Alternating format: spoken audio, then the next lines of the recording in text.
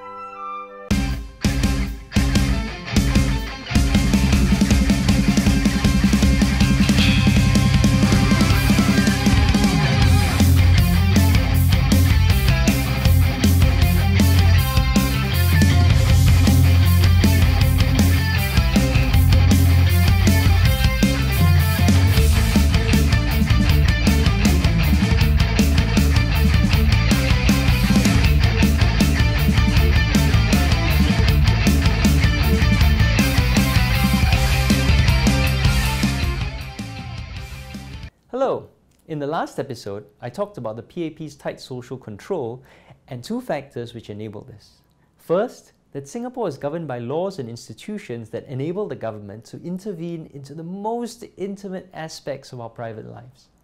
And second, the government actively sends the message that criticizing or opposing the government will lead to retribution, creating an environment of fear. Today, I'm going to explain another important factor in the PAP government's tight social control, which is that Singapore's laws are very broadly written to effectively criminalize all behavior while giving politicians discretion to selectively charge their opponents. This then constrains all political activities. So activities that would be normal in other Asian countries like demonstrations, protests, marches, strikes, they are all illegal in Singapore unless you have a permit. This means the PAP government can say that political activity isn't actually illegal, you just need to apply for a permit. But can you actually get a permit? Time and time again, the answer is hell no. But on top of that, discretion on whether to take action or prosecute people is placed in the hands of senior political or civil service officials, such as a minister or the Attorney General. The Attorney General, by the way, used to be the Prime Minister's personal lawyer. His appointment is controversial because of his age. While Attorney Generals are supposed to retire by the age of 60, he was appointed at the age of 62, older than the outgoing Attorney General. And it's his office which gets to decide whether to prosecute people. So let's look at some examples of things which are illegal without a permit in Singapore.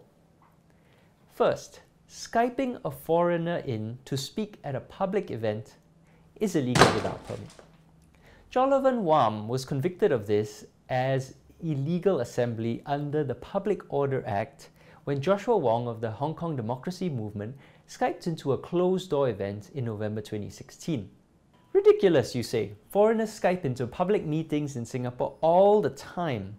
Conferences, businesses, churches. Well, yes, the AGC doesn't have to charge you. They have discretion over who they prosecute. I'm sure the fact that they only prosecute people who disagree with the government is just coincidence, isn't it? Second, walking to Parliament and standing outside it on the public pavement holding a mirror is illegal without a permit. Seelan Palay did this as part of an art performance. This was an illegal procession under the Public Order Act. He was convicted and spent about two weeks in prison. Effectively, under the Public Order Act, pretty much all political activity in public is illegal. You could simply run down the road wearing an anti-death penalty t-shirt and that might attract police attention. What's that you say? Don't be crazy. Police aren't going to call you up for running down the street in an anti-death penalty t-shirt? Well, funny you should say that.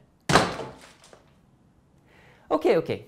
What if you just stand silently in public holding a piece of paper?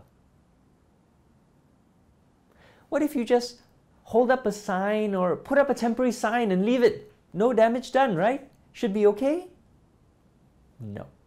The Vandalism Act was amended in 1968 to criminalize the communication of information in public, with the hugely disproportionate punishment of caning and huge fines or jail terms. No actual damage is needed for it to be vandalism. The PAP government changed the law in 1968 because the opposition, unable to hold protests or conduct any other political activity, would sneak out at night and put up signs protesting Singapore's involvement in the Vietnam War. Okay, what if you just stay at home and write on Facebook? Sangeetha Thanapal, who is working on a PhD about race in Singapore, wrote about racism in Singapore on Facebook while criticizing the movie Crazy Rich Asians. She was investigated by the police for, quote, promoting enmity between different groups on grounds of religion or race, unquote, under Section 298A of the Penal Code. The accuracy of her analysis wasn't disputed. Rather, it was that her analysis threatened to disrupt racial harmony in some way. So you can still write the truth. It could still be illegal. What if you just stayed home in your underwear and watched dumb videos on YouTube? You guessed it. The Films Act criminalizes videos with political content. In fact, representatives of the government can enter your house without a warrant merely on suspicion that you've been watching an illegal film. What if you. Okay, but how. Well, surely if. Okay, okay, okay. So, what happens if you get invited by the police for an interview? Well, first, under Singapore law, you don't get to have a lawyer present until you're formally charged. We don't have the right to remain silent or the right to an attorney or any of that. Even after you're charged, the police can still question you for a reasonable amount of time before allowing you access to a lawyer. There's no actual definition of what a reasonable amount of time is. The longest so far has been 29 days. In Rajeevan Edakalavan versus the public prosecutor, the judge ruled that, quote, the accused has, has no right to be informed of his right to counsel, unquote. So you don't even know when you can have a lawyer.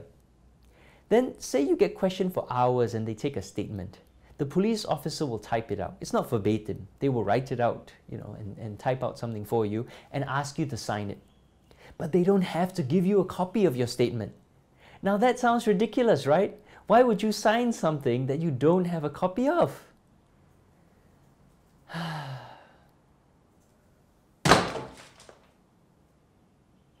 It can get worse. If the offence is considered severe enough, the police could raid your home and seize all your stuff. What is considered severe enough? Well, here's one example. In Singapore, it's illegal to publish election advertising on cooling off day, the day before polling day in an election. But what is election advertising? Note the bottom paragraph. And such material shall be election advertising even though it can be reasonably regarded as intended to achieve any other purpose as well, and even though it does not expressly mention the name of any political party or candidate. So it's basically anything. So basically, if you post on social media the day before the election, I'm getting really sick of that stamp. Former political detainee Teo Soh Lung posted a pro-SDP message on Facebook the day before the 2015 election. Someone filed a police report. The police raided her home, took her phone, her laptop, and a whole bunch of stuff. They questioned her for hours and generally made her life really unpleasant for a year and a half. And to what end? She never denied that she posted the message. It was an open and shut case. There was no need for investigation or to seize her stuff. And when people protested this, the official response boiled down to hey, someone filed a police report. Are you saying that we shouldn't investigate a police report? Are you saying there shouldn't be rule of law? But someone who posted a pro PAP message on Facebook the same day was just investigated and received a warning. So you see how things work in Singapore and why people live in quiet, resentful fear. We have, as I mentioned in the previous episode, a government which has the power to reach into your life and make things very unpleasant for you on a deeply personal level. And as I've explained today, we have laws which effectively criminalize everything, but which somehow seem only to be used against people who criticize the government. We like to think of authoritarianism as jackbooted thugs beating people in the street, but today authoritarianism is far more sophisticated. It uses the language of the rule of law to justify how it oppresses the people. It makes oppression bureaucratic, even boring. It hides itself in obscure legislation and references obscure definitions. By being very arbitrary and complex, it creates an atmosphere of fear and confusion so that we end up self-censoring and self-regulating out of fear. We become like those poor animals who receive electric shocks every time we go near the out-of-bound markers. Eventually, we end up just staying as far away from the out-of-bound markers as possible because we simply don't know when we'll get shocked. And our masters don't actually need to do anything more because we're so fearful. And then our masters get to say, hey, we didn't do anything to stop anyone. They chose not to do it. But in this way, public politics in Singapore is severely constrained. It's pretty much banned. But strangely enough, public commercialism is highly encouraged.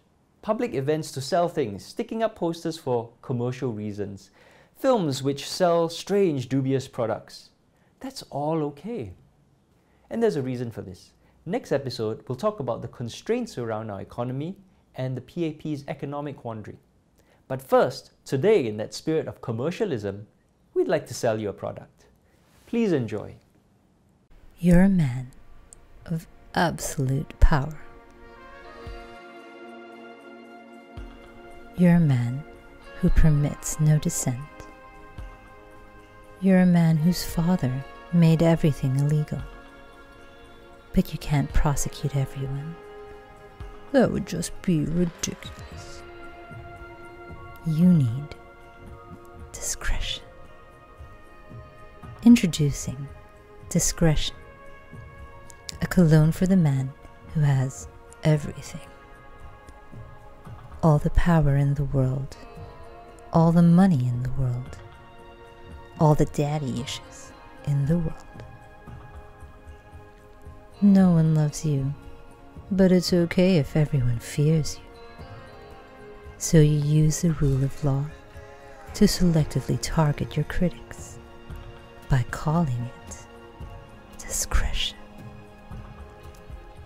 Don't sue your siblings when they accuse you of abuse of power, but sue the man who reported what your siblings said.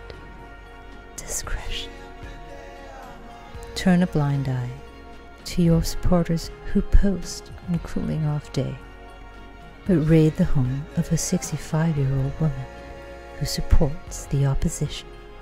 Discretion. Jail a man for walking down the street holding a mirror. I mean, you literally jailed a man for walking down the street without a permit. How stupid is that?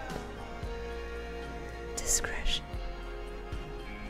Discretion it smells like rule of law, but it stinks like oppression. Only available for Chinese men who are English educated and come from either the civil service or the military. Hello, this is Grouchy the Malayan Sun Bear. Thank you very much for watching. If you enjoyed this video, please like and subscribe and please share with your friends. Also, please help us make more by becoming a member of New Naratif. It's only 52 US dollars a year or 5 US dollars a month. Imagine how much honey you could buy with that. Learn more about us at newnaratif.com slash hello. Thank you very much.